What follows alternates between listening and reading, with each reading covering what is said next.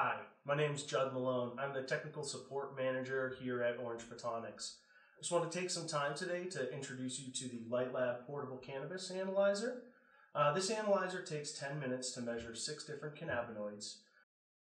It does that for pretty much all cannabis products, whether it be flower, concentrate, trim that you might be buying, or even hemp compliance for measuring the THC content of hemp plants. The technology that we're using here is liquid chromatography. We are using a separation column very similar to HPLC, and we've kind of scaled that technology down into a portable device uh, that you can use in the field or in the lab. The nice thing about this device is it's very simple to run.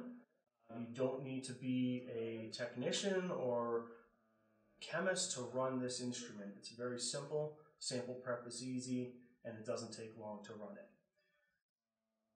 The total test time is 10 minutes. That's two minutes of zeroing the instrument.